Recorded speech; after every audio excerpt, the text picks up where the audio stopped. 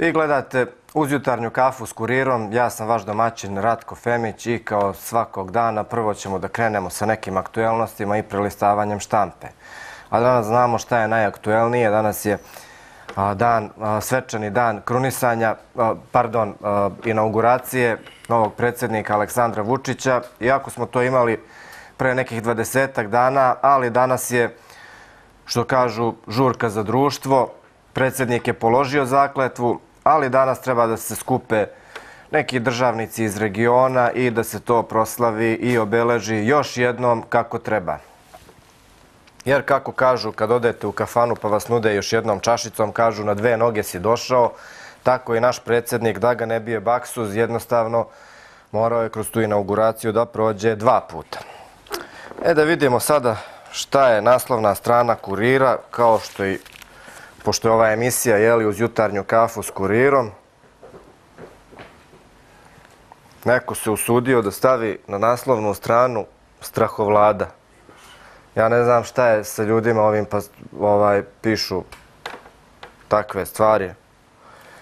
A zbog čega strahovlada? Kaže po nalogu tiranina, a zbog lažnih optužbi vlasnik kurira i predsjednik Adria Medija grupe Aleksandar Rodić juče saslušan u SBPOK. To vam je služba za borbu protiv organizovanog kriminala.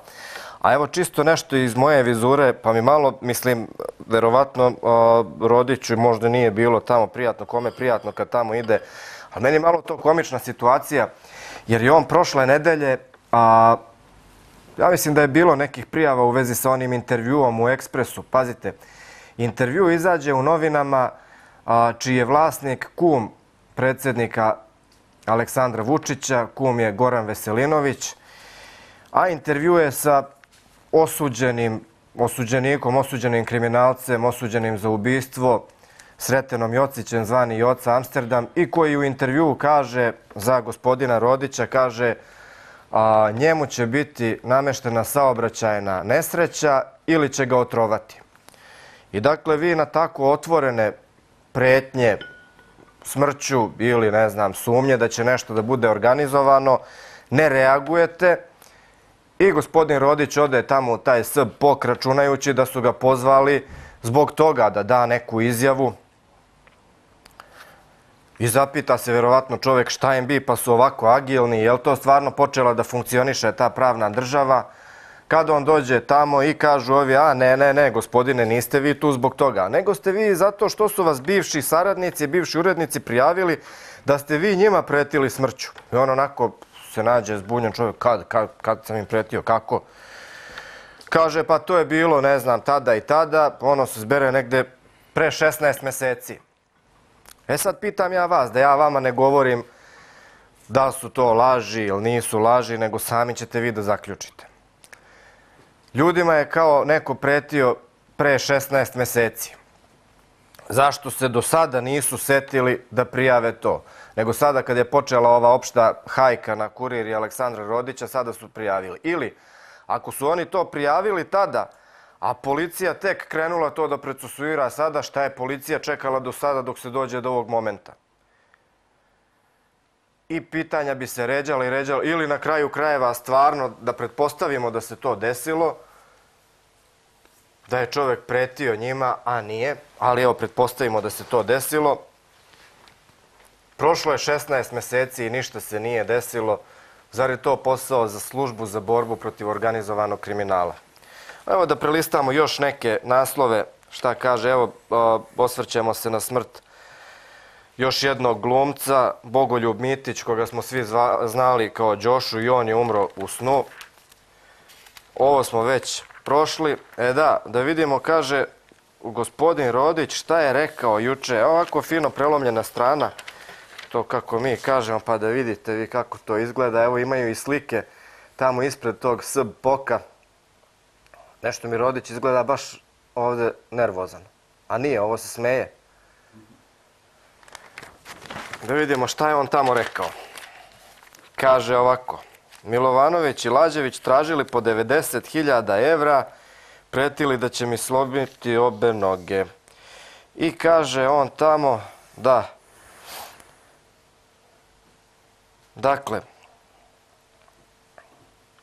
Na razgovoru sa njim, Lađević Milovanović, su mu iznali da su upravo bili na razgovoru sa Goranom Veselinovićem. To je onaj kum Aleksandra Vučića u čijim novinama je izašao na intervju sa Sretenom Jocićem. I kaže, oni su se, e, taj Goran Veselinović im je rekao da se sa Aleksandrom Vučićem dogovorio da njih dvojica mogu da pređu kod njega, da naprave dnevne novine zajedno i da će im tako slom, i da će mu rodiću tako slomiti obe noge, kao oni su po jedna noga, jeli? Rekli su mi da bi oni i pored toga ostali kod mene da rade ukoliko im isplatim po 90.000 evra kako bi obezbedili svoje porodice. A pazite, pa ja sam bio tamo glavni urednik, ali boga mi, daleko je ta cifra, pazite, 90.000 evra. Pa boga mi, Aleksandre, ako si njima isplatio, a, a, a ja, boga mi, nisam bio ni blizu toga, naljutit ću se.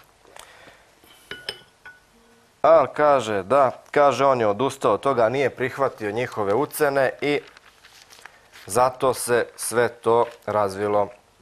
Dalje, kaže, koristiju, koriste policiju da bi učutkali kurir. Imamo nekoliko izjava javnih ličnosti koji potkrepljuju to.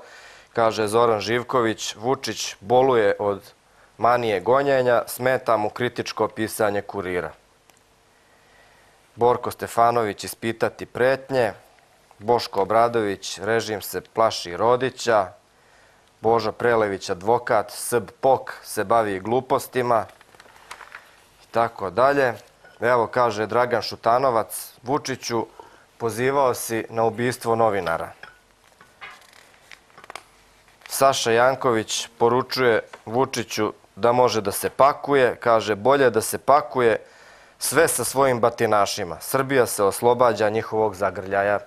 Znači, nešto ljudi su počeli da se bude, da se povezuju. Da vidimo šta kažu ostali. Blic vam donosi sve detalje inauguracije. Među gostima će biti, zamislite, predsjednici Crne Gore, Hrvatske i Makedonije, Znači, ipak neće biti engleska kraljica kao na Titovoj sahrani, pošto su poredili inauguraciju sa sahranom. Malo je morbidno, ali to nisam ja rekao, već saradnici gospodina Vučića. Danas, kaže, službe prate bez kontrole. Bezbednostne službe u Srbiji rade protivzakonito, a u službi Vučića Stojanović kaže, umjesto da Skupštinski odbor kontroliše službe, službe kontrolišu odbor. Ovo čini mi se nije ništa novo, ali eto, slušamo ponovo i ništa se tu ne menja. Prijem u palati iza ograde, to je ponovo u vezi sa inauguracijom. I evo imamo nešto ponovo oko doktorata Siniše Malog u dnevnom listu danas. Kaže, u komisiji za doktorat Siniše Malog i stručnjak iz Slovenije. Dobro. I još jedna kaže, kada će Vučić ispuniti obećanje, nema naznake da će tužilaštvo za ratne zločine da će se baviti e, logorima u Srbiji. To je još jedno valjda obećanje gospodina Vučića koje je neispunjeno, ništa novo. Tako piše dnevna štampa, a ja ću malo danas i o aktuelnim dešavanjima, pa i o onom što se dešava jeli, u advokatskoj komori, o vladavini prava u Srbiji, da razgovaram sa bivšim predsjednikom advokatske komore Beograda, gospodinom Slavkom Jelovcem. Gospodine Jelovac, dobrodošli u, uz jutarnju kafu s kurirom. Dobrodošao, dobronašao vas i pozdrav za sve goste, gledalce. Da. Hvala što ste došli. Evo, šta vi kažete na, inače, evo sad čuli smo neku o, o, konstataciju da bezbednostne službe kontrolišu odbor umjesto da odbor skupštinski kontroliše bezbednostne službe.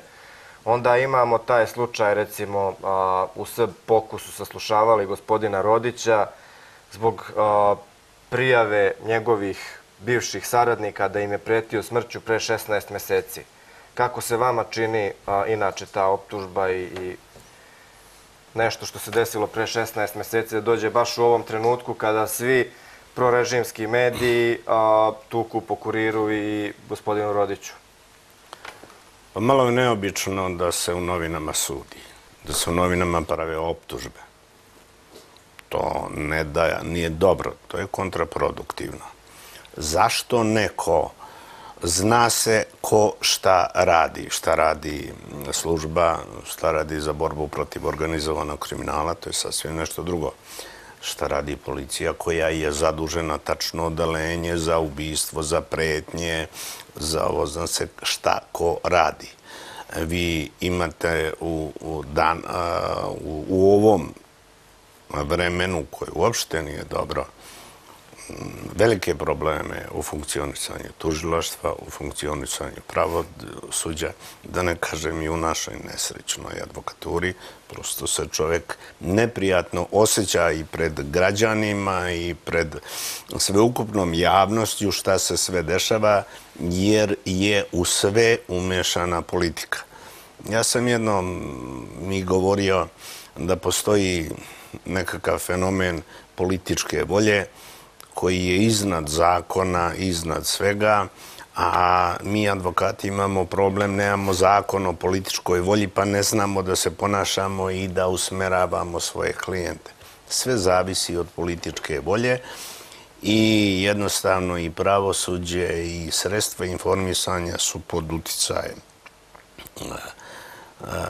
ovaj, e, vlasti i to jako nije dobro najavljivati presude, osuđen, biće, procesuiran pre nego što... I to je... A koliko to vama, recimo, advokatima otežava posao? Mnogo. U mnogo me otežava posao.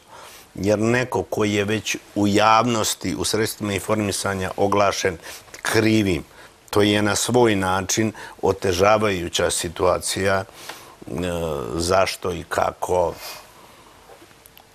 Međutim, nažalost, i u advokaturu je ušla politika, pa vidjeli ste podele, sukobe. Ali dobro, to nije, to nije prvi put sada. Ovaj, pa i vi ste, kada ste vi bili a, a, a, predsjednik advokatske komore, o, a, gospodin Šoškić, koji je posle vas došao, je govorio da vi niste bili legitiman a, predsjednik. Znači, postojalo je nekih i ranije tih stvari, a sada imamo ponovo jednu podelu, imali smo dve izborne skupštine. Šta je tu u stvari? Imali smo ove nedelje, nam je bio gost vaš kolega, advokat Ivan Simić, koji je bio na toj drugoj izbornoj skupštini kada je izabran gospodin Vladimir Gajić. I on kaže da je za njega to završena priča, to je tako. Ali mi volimo da čujemo i drugu stranu. Pa šta vi kažete na sve to? Pa ti sukobi, mislim, ne znam zašto se u advokaturi ne otvore, kako u toj nekoj vašoj emisiji zaista se ne kaže da se ne lažemo. Treba otvoreno krenuti. Ti sukobi su krenuli, oni traju deset godina, nije to sad. I ja ću vam u kratkim crtama genezu tih sukoba. 2010. su sprovedeni izbori u Advokatskoj komori Beograda i tada je izabran upravni odbor i gospodin Šoškić za predsjednika, Kalanj za podpredsjednika i 13 članova upravnog odbora. I izabrano je pet članova iz komore Beograda za članove upravnog odbora Komore Srbije, između ostalih i Vojislav Nedić. E, ne, za nekoliko meseci došlo je do sukoba između upravnog odbora i gospodina kolege Slobodana Šoškića. Taj sukob je eskalirao da prosto više nije moglo da funkcioniše komora. Upravni odbor je tražio izbore. Šoškić je zakazao jednu vanrednu skupštinu i tada je smenio odnosno opozvao svoj upravni odbor, ali nekako statut predviđa, nego aklamacijom i kako je on to voleo da kaže, pretežna većina je smenjujemo. A šta je pretežna većina?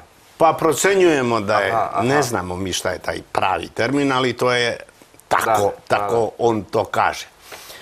Da ne bi brojao, da ne bi utvrđivao ko je za, ko je protiv, nažalost, ljudi su određeni glasali, iako ne treba biti advokat čak ni advokatski pripravnik, kada u statutu jasno stoji da se upravni odbor opoziva istim načinom kao što se bira. Ako se bira tajnim glasanjem, onda se tako i opoziva i taka odluka je nezakonita.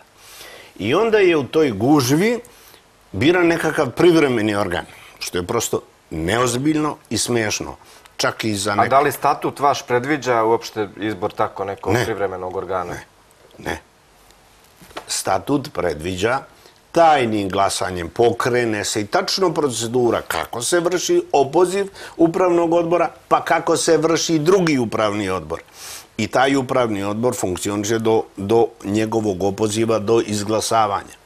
I u toj nekoj gužvi, u tom ratu koji je napravljen između upravnog odbora i kolege Šoškića, izabrani, bit će taj, bit će taj, bit će taj nekakav privremeni organ. I ne treba advokaturi, ni javnosti, ni sudu. E, nekakva sudska presuda da bi se znalo da je to potpuno nelegitimno, nelegalno. i. I taj upravni odbor je funkcionisao. Međutim, ne znam zašto se sad u advokatskoj javnosti još ne objasni da postoji pravo, ja imam tu, tu pravosnažnu sudsku presudu, gde ne da se poništava, nego se utvrđuje da je ništava odluka i o opozivu i o izboru. I ti članovi tog privremenog upravnog odbora su radili, znali su da rade nezakonito, upravljaju i raspolažu tom novom. E onda je e, bitno jako istaći da bi celokupna advokatska javnost znala i ukupna javnost da je Komora Srbije donela odluku o oduzimanju javnih ovlašćenja Komori Beograda i onda su tu stekli određeni sporovi pred Ustavnim sudom. Ustavni sud i pred Višim sudom. Ustavni sud je poništio određene odredbe i m, na osnovu kojih je Upravni odbor Komore Srbije od, odzeo javna ovlašćenja i onda je tu nastao jedan sukob koji traje i traje To i je danas. sukob između uh, a- advokatske komore, Komore Beograda, i advokatske, komore advokatske Srbije. komore Srbije, I on koji traje, se i do dan personifikuje u Vojislavu Nediću kao predstavniku i Slobodanu Šoškiću Komore Beograda i Dragoljubu Đorđeviću Komore Srbije. I on traje do uh, oko izbora komore, uh, predsjednika Komore Srbije, jer kandidat za predsjednika Komore Srbije bio e, Vojislav Nedić, e, izabran je Dragoljub Đorđević i taj rat traje do... Tako kad su oduzeta javna ovlašćenja, Komora Beograda je ostala bez upravnog odbora i izabranih organa. Onda je Skupština kao kad nema svoj organ, donela odluku da se sprovedu izbori, izbori su sprovedeni i na toj u tom izbornom postupku sam ja izabran za predsjednika i upravni odbor i rađeni. Onda su posle nastali sporovi, uticaj određenih pritisaka.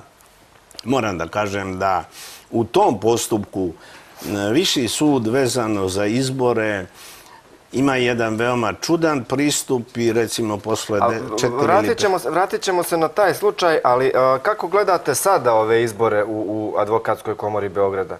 Pošto smo mi praktično imali nemamo. dve izborne skupštine. E sada, mi uh, građani, kako da kažemo, onako laički, kada posmatramo, nama ništa nije jasno. Dakle, imali smo jednu i uh, ljudi koji su izabrani, odnosno organi koji su izabrani na te dve različite skupštine, ne priznaju jedni druge, jedni govore da je jedna legitimna, drugi da nije legitimna. Šta je u stvari, šta vi možete da nam kažete? Pa evo, ovaj uvod vam objašnjava o čemu se dasuje. Da imamo praktično i advokatura i javno, da ima određenih grupa izbore. I imamo grupu koja je ok- okupljena oko tog nepostojećeg upravnog odbora koji nema legitimitet ni da raspiše, ni da sprovodi izbore. Dakle, on nema legitimitet još onda kada ste, još iz tog vremena a, kako je izabran, je li? Pa to da, vreme kada jedan- se dešavalo to... Pa on ima i pravosnažnu presudu, utvrđuje se da je ništa. A druga grupa je na, na jednoj, nazovimo, skupštini grupu advokata od 184. I tu odluku imam. I to sve treba pokazati izabrana određena druga grupa, pošto su ljudi vidjeli pa su digli ruke i onda su uh, dali, nećemo više da radimo u takvom nelegalnom organu. I onda su opet 184 advokata se skupila i sedam članova dopunjen taj privremeni organ. I on to sprovodi. I sad je ovde tri godine taj nepostojeći nelegalan organ koji sebe zove upravni odbor neće da raspiše izbore. I 560, mislim ne znam tačno ili 70 advokata, je tražilo da se sprovedu, obratilo se i tražilo da se sprovedu izbore. Slobodan Šoškić je odbio, odlagao. Znači, od 3. aprila 2014. do sada je odbio da sprovede i onda je Skupština, uh, advokati su sproveli određene izbore po meni je tu napravljena jedna jedina greška što nije Skupština i doneta odluku i o raspisivanju izbora da ne ulazi u započeti izborni proces. I onda to što buni i advokaturu i javnost, vi imate situaciju da imate jedan upravni odbor, jedne organe, a imate 10. juna drugi, imate jedan dualizam koji ne vodi ničemu. A kako to sad može da se sredi i šta građani imaju, odnosno kakve su posljedice po građane to što advokatska komora Beograda funkcioniše paralelno? E, pa građani imaju, i advokatura i građani imaju stravičnu štetu, jer E, advokatska komora i ne funkcioniše. Vi imate obračun, e, što bi se reklo, sukobljenih strana i nemate komoru koja funkcioniše. Vi u komori imate obezbeđenja, imate neke čudne ljude, razbojnike, batinaše, imate e, jednu toliko neprijatnu situaciju koja ne priliči. Advokatura mora da se bavi zaštitom ljudskih prava i građana i interesa. Advokatura se bavi unutrašnjim sukobima i svojim problemima koji su personifikovani u određenim ličnostima. I to nije, to nije izvodljivo i sad će opet neki sud da rešava jedne, druge sukobe, ko je u pravu, ko je u krivu. Advokatura mora da se otrezni, da se pojave ljudi ne, potpuno neostrašćeni, koji ne pripadaju ni jednoj, ni drugoj grupi, da se konstatuje da trenutno advokatska komora nema legitimno izabranu upravni odbor, da Skupština po pravnom načelu ko može više, dakle, može i manje. Dakle, ako vas dobro razumem, po vama nisu, nisu legitimno izabrani ni, ni jedan ni drugi predsjednik, je li? Ni jedan ni drugi, zato što je izbore raspisao nelegalan, nepostojeći upravni odbor, to je morala da uradi Skupština. I u tome je problem. Međutim, tri godine grupa advokata koja je napisao 570, tri godine trpi jedno nezakonito stanje, nezakonito donošenje odluka, nezakonito raspolaganje sredstvima. To raspolaganje sredstvima je jako bitno i jako pravi problem. I to je jako veliki razlog zašto nepostojeći upravni odbor tri godine odlaže izbor. Jer se plaši uvida u raspolaganje ogromnom, ogromnim finansijskim sredstvima. A kako to građani sutra treba da vam se obrate da, mislim na sve advokate, da zaštitite neka njihova prava, a vi ne možete da se dogovorite i da stavite u legalne tokove, da to bude nesumnjivo legitimno rukovodstvo, koje niko neće osporavati. Vi ne možete, niste u stanju to da uradite, kako, kako će građani onda sutra da imaju poverenje u vas? E, malo pre sam rekao, advokatura je izgubila, treba će joj Ali bili ste, bili ste jedinstveni, čini mi se, svi kada ste ustali protiv monopola notara onda kada je, kada je trebalo to, je li? Da, jesmo, ali na kraju, tog protesta, nažalost, ništa, sve smo izgubili. Praktično je na kraju tog štrajka. To pozivanje u advokaturi na jedinstvo je jako licemerno.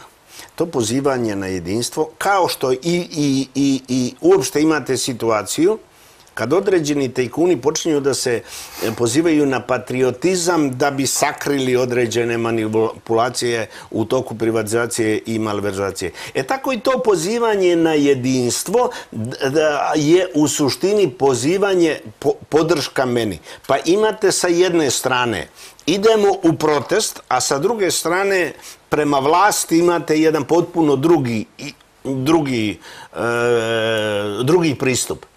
I na kraju tog četiri mjeseca e, tog štrajka, sve smo izgubili, ništa nismo dobili.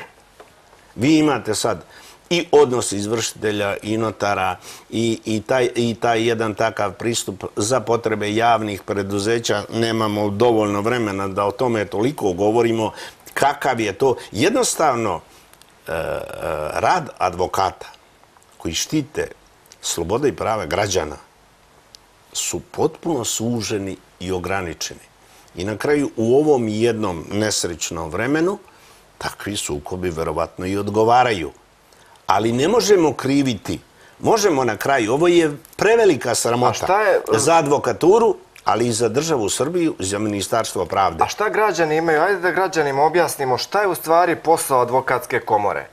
Zašto bi bilo, zašto bi uopšte nekome od građana bilo važno kako, je, kako su izabrani rukovodioci advokatske komore, da li uopšte ima rukovodstvo ili nema, da li vi kao advokat možete da funkcionišete sada neko da vam se, obi, da vam se obrati, da preuzmete njegov slučaj, da zaštitite neka njegova prava, vi to možete i bez komore, je li tako? Možemo to da radimo i bez komore, međutim, tokovi, veoma bitni, na koje treba da utiče advokatura kao nezavisna profesija, gde štiti svoje i interese građana kod usvajanja određenih zakona, mora da učestvuje, ne možemo mi tu kao pojedinci, mi možemo da radimo naše pojedinačne slučajeve.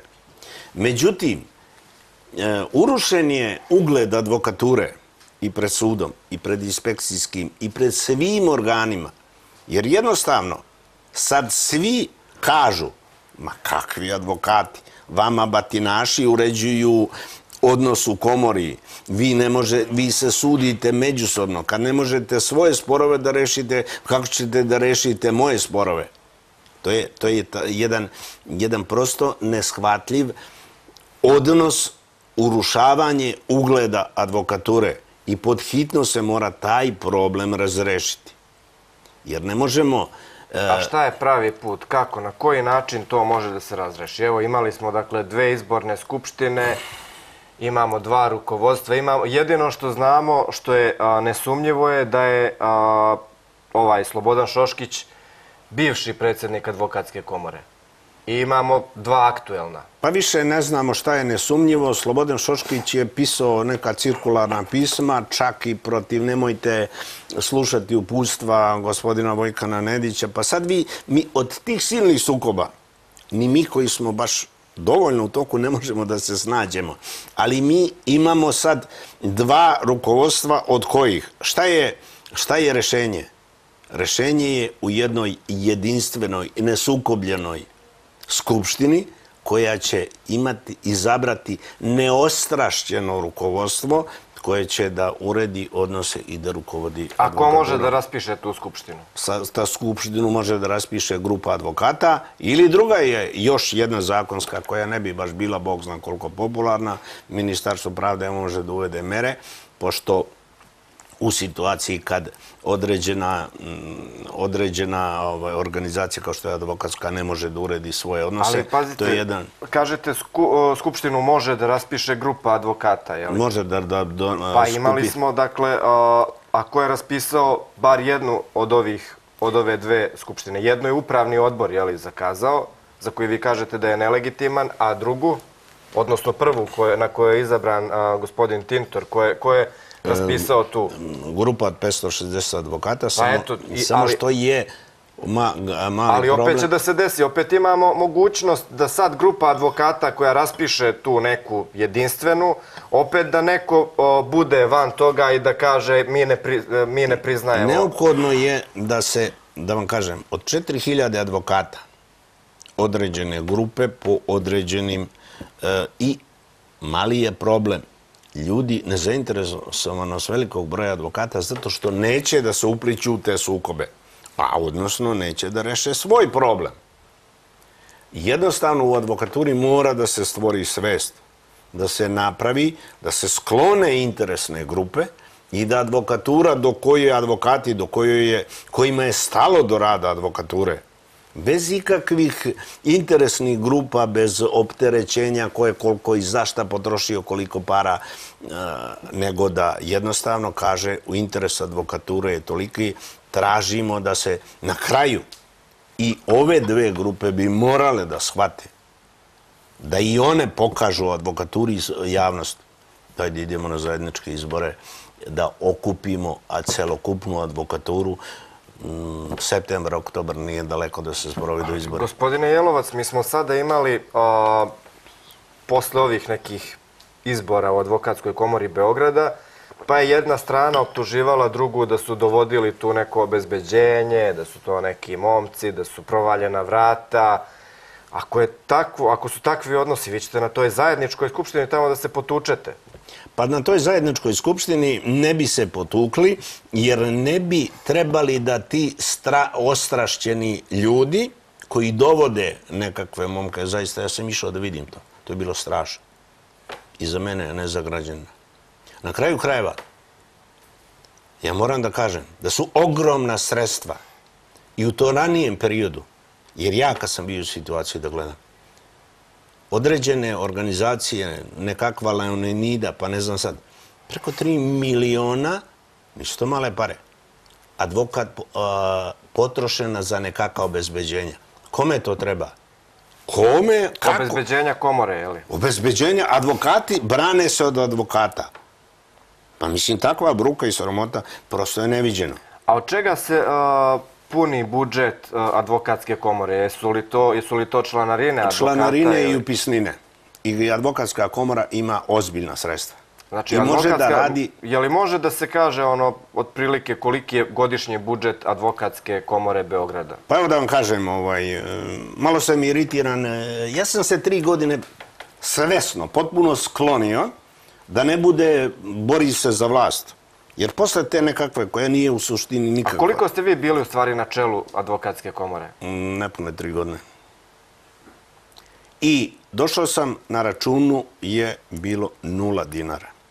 Prva sredstva, 50.000 pomoć bolesnoj koleginici smo pozajmili. Kad e, je došla ta situacija, i to je e, kao sud vratio, e, taj nekakav Šoškićev upravni odbor. To nije upravni odbor. Šoškićev upravni odbor je biran 2010. I on ga je nezakonito smenio. A onda je ovako, ti, ti, ti, na aklamacijom ćeš biti. To je nelegitim. On tri godine funkcioniše. Njih nije sud vratio, niti sud može da vrati. Sud može da poništi ili da utvrdi da ište. I odmah se ide na izbore. Umesto odlaska na izbore, tri godine nisu hteli da raspišu izbore, da se sprovedu izbori.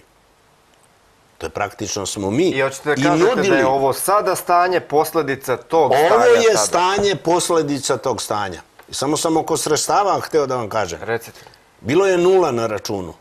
Ostalo je 703.000 evra na računu. Kad sam otišao. Jer ja sam mislio odmah, spravimo izbore. Nemojte da se mislite da se borim za vlast. Pustite, daj da uredimo. I bio ozbiljan program. Šta da se uradi i kako da se uradi. I mislim da je bilo negde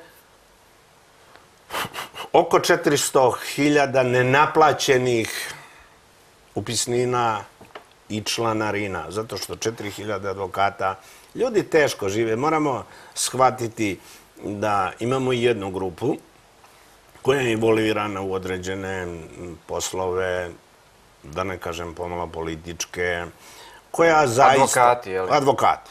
I jednostavno, taj sukob... A kakvi su to politički poslovi kojima se bave advokati?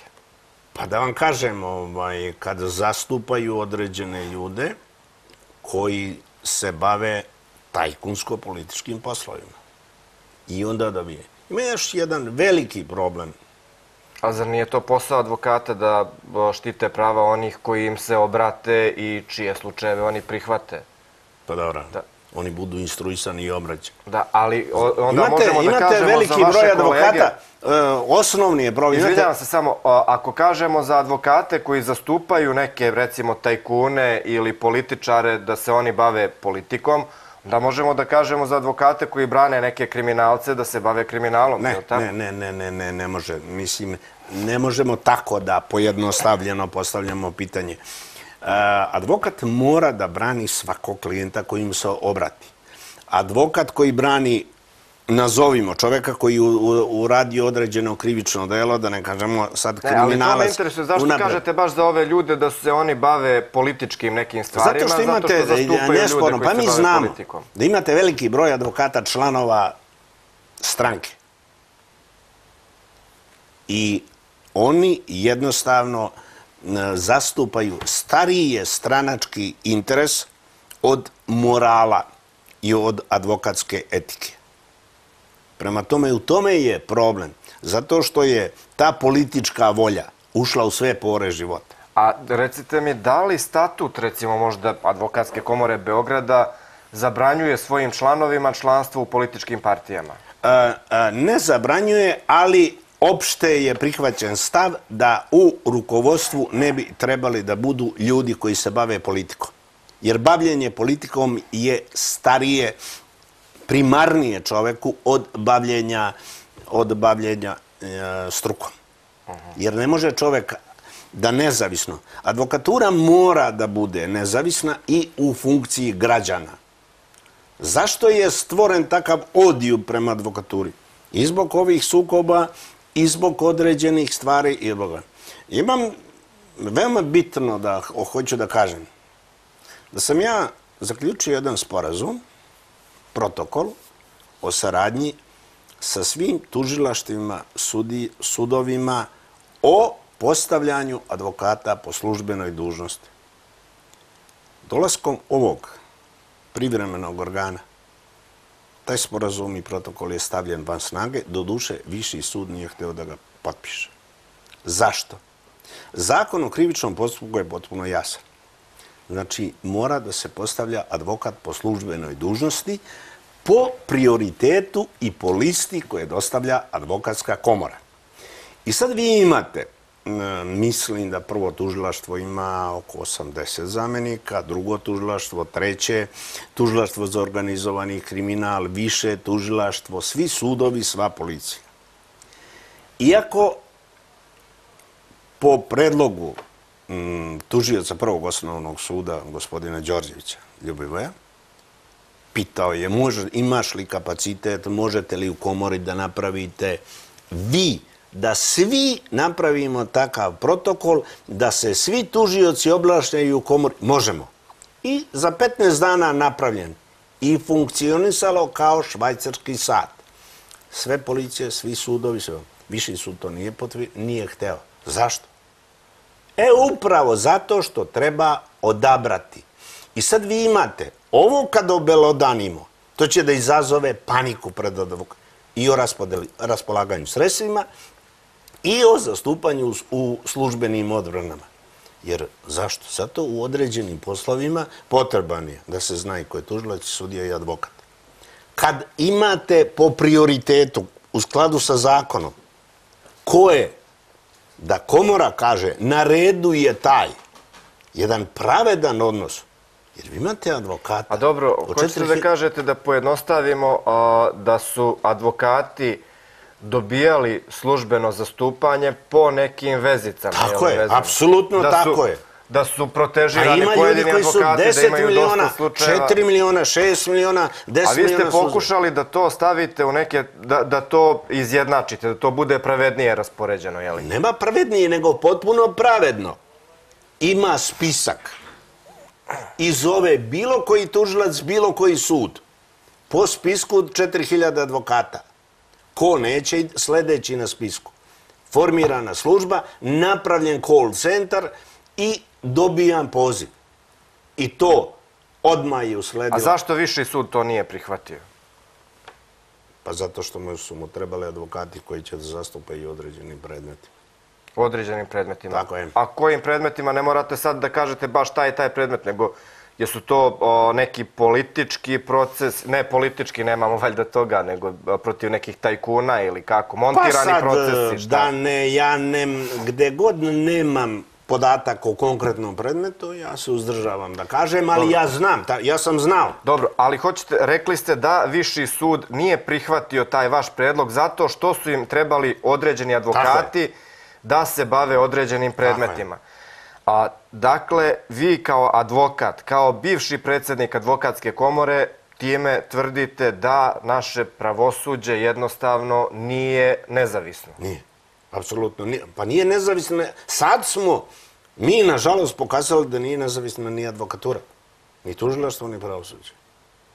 Ali mi A trebamo... od čega, recimo, Ja sam- ko je taj nalogodavac višem sudu da viši sud a, vama odbaci nešto čime ste hteli da uvedete pravednu a, raspodelu poslova advokatima za zastupanje po službenoj dužnosti? Pa to treba da vidi, da kaže viši sud. Da li je to politika, da li je, ko je to iznad višeg suda? Pa zna se ko je iznad suda. Hoćete politika. reći da je to politika? Politika. Zna se ko je. Da. I jednostavno, e, Visoki savjet sudstva nije imao hrabrosti da razreši taj problem na određeni način i uticaj e, i ta politika, i, to je problem određenih nižih struktura. Sva ova nesreća i u advokaturi i pravosuđu i svemu šteti i vlasti. Na kraju i, i, i stranci koja je na, na, na vlasti. Jer ovo, pa već Evropska unija postavlja pitanje šta se to dešava u srpskom pravosuđu. Najgore ocene su o pravosuđu. I o, I o medijima. po medijima je već strašno.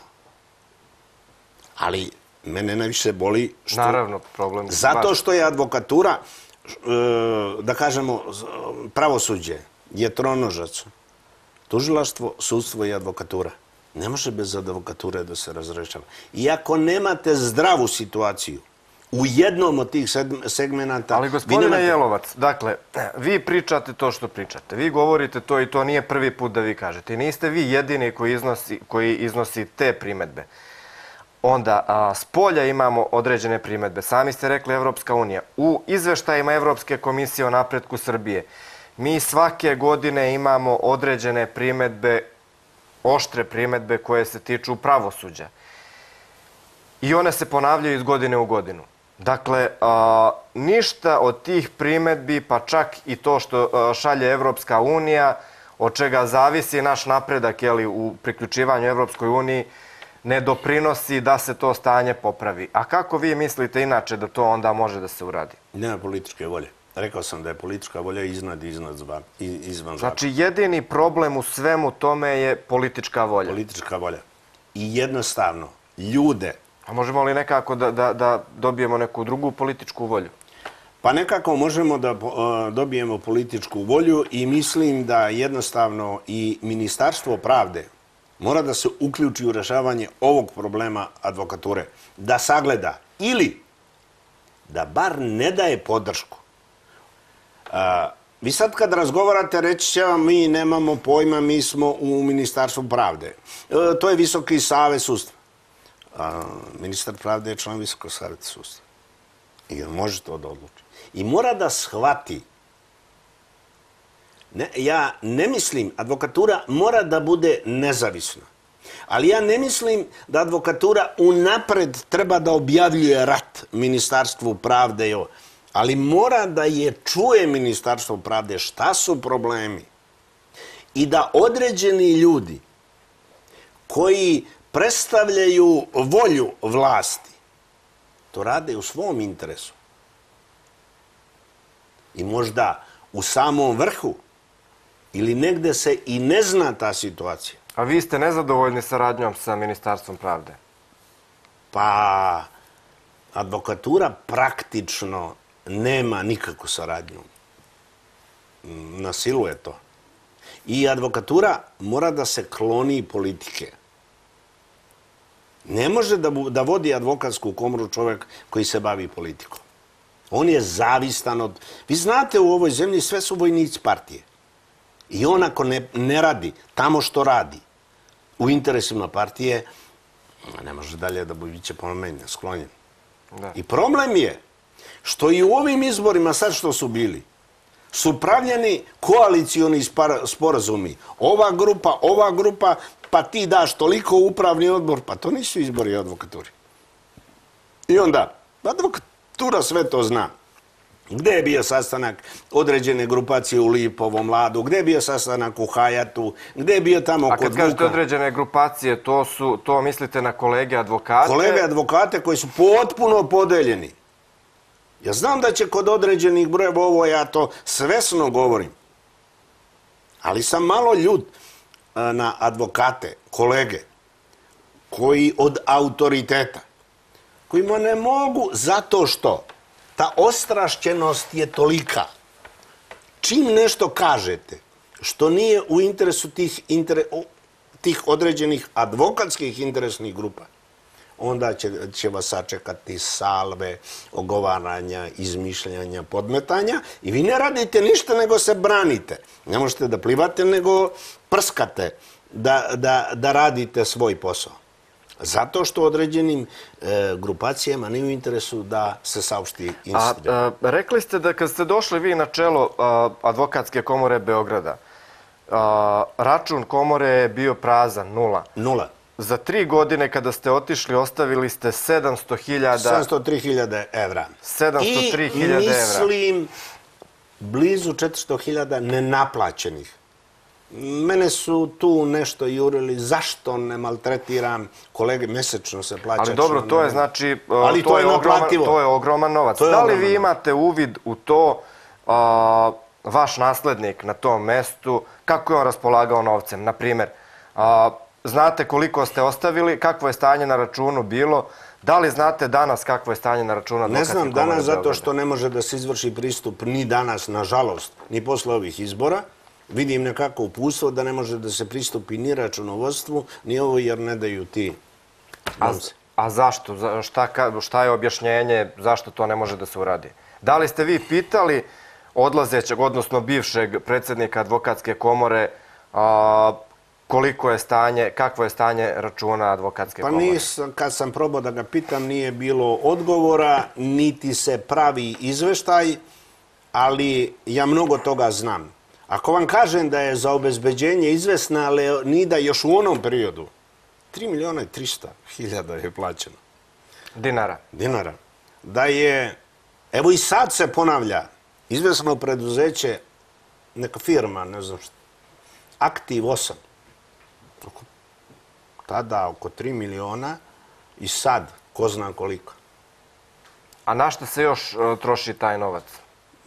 Da li advokatska komora ima recimo službene automobile, Nema reprezentaciju? trenutno reprezentacije, ima neograničene, enormne i enormni su troškovi. Ali to mora da, da se iznese.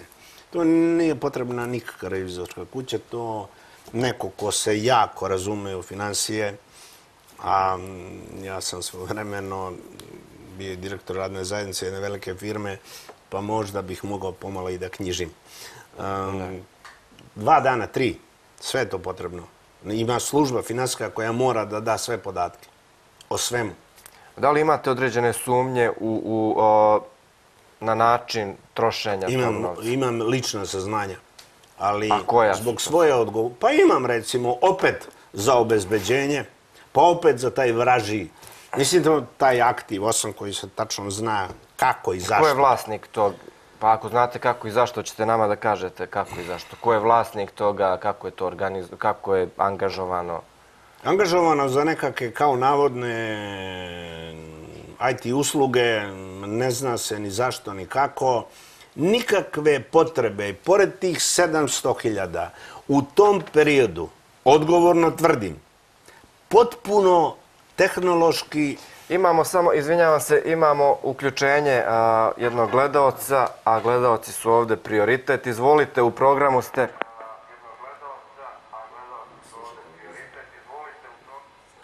Dobar dan.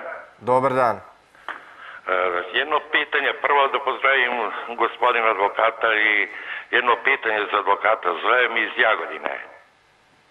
Ne bi Recite. voleo ime i ovo podaci i ovo. Htio sam jedno pitanje. Ne morate, samo postavite slobodno E, pitanje. e, advokat iz Beograda radi ovdje u Jagodinu, kancelarija nije prijavljena. Obraća sam se advokatskoj komori, tražili su mi 10.000 da uplatim da, da bi mi dali kao neki odgovor. Imam problema s advokatom. Radio mi je jedan predmet plazda, dogovor je bio napismeno, imamo sve, 1.500 evra. Predmet je rešen u moju koris. Ja sam bio čovjek, tražio sam ga još 500 evra, 2000 evra sam mu dao. Međutim, on je meni sad ispostavio neki troškovi još plus milion i po dinara i stalno proširuje optužnicu. Sad se sudim s advokatom. U pitanju je lokal. Ja sam prodao lokal i on zna da imam pare i da, da vam kaže za meni je ovo ucena i reket. Znači on stalno, pazite, milion i po već na, na, napravio cifru. To ne, ja ne znam gde to ima i kome da se obratim. Jer ovde u Jagodinu to je, advokati su čudo, da, glupo da kažem da, da, da ovo ima po- pošteni ljudi, ali da advokati su čudo, kriminalci. Jel imate još neko pitanje, gospodine, pošto smo čuli ovo pitanje, pa... Ne samo to i ako mogu broj telefona od gospodina da dobijem, ako bude trebalo da se obratim. Pa ajde, javite se onda u... Ostavite, ostavite podatke u režiji pa ćemo da vam dostavimo. Ako mogu na kratko da kažem, ja spadam u advokate koji kad bi trebao da da odgovor određenom predmetu, morao bi da ima kompletan uvid u predmet. E sad ću na osnovu onoga pod Da, da. pretpostavkom da je tačno, prvo, potpuno je neverovatno da vam je nako, neko tražio 10.000 da vam da odgovor. To je nezakonito, to je zloupotreba i to je krivično delo. Ako vam je to radio i napišite ko je to radio. Znači, neko nije hteo On da je vam... zvao advokatsku komoru. koliko Pa mu rekao, kakvih 10.000? To mora da se da. Advokat mora da radi i da je prijavljeno, ima advokatsku kancelariju u mestu boravka. Ako je advokat iz Beograda, on mora da, rad, da je prijavljen u Beogradu, može da zastupa u Jagodini. Ni, ništa nije sporno. Dalje, što se tiče ovih daljih pitanja, e, vi možete da napravite sporazum pa, sa advokatom kako i zašto radite, ali advokat ima advokatsku tarifu i sad mm, pomešao je, rekao bih, krivicu optužnica je nešto iz krivičnog prava, rekao bih da je u pitanju tužba. E, ne znam na šta se odnosi taj milion i po, ne znam kolikav je troškovnik, ne znam kakav su imali ugovor i ne mogu detaljne, ali na kraju vi možete da tražite da ispostavite e, da vam traži da vam ispostavi račun po advokatskoj tarifi, šta je koliko ili po nekom vašem sporazumu i ugovoru ima pravo advokat za neke otežavajuće okolnosti da napravi uvećanu tarifu, zavisno od poslova, od angažovanja i svega. Znači, da bi detaljan odgovor, moram da imam kompletan uvid da bi dao detaljan, da se ne ogrešim ni prema e, e, građanu koji zove, a ni prema kolegi. Naravno.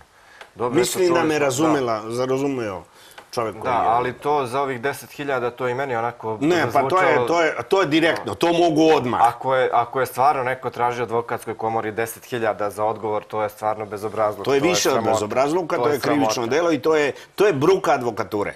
Da li je to neko iz službe, da li je to... Nismo čuli kada je to bilo, ali dobro, ovaj, bože moj, kad god da je bilo, to je Kad skandal. da je bilo, to je sramota za advokaturu. Da. Dobro, evo, polako se bližimo kraju emisije.